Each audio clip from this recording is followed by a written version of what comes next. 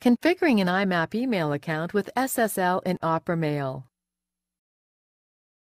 This demo assumes you've already opened Opera. Click on the Opera icon to access your mail accounts.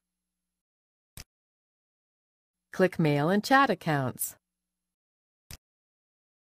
You will get a pop-up asking you to create an account. Click Yes. You will get a new pop-up asking for the account type. Just leave email selected. Now click on Next.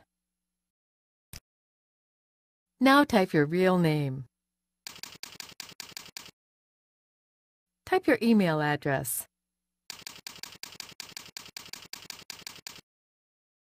Type your company name. Click on Next to continue. Type your username, which should be your full email address, for example, username at domain.com.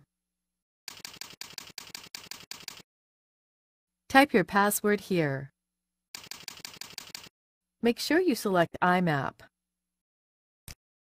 Click on Next to continue. You will be asked to enter your mail server info.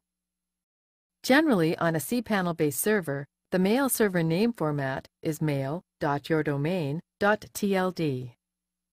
See, Opera Mail has entered that by default. Keep them as it is.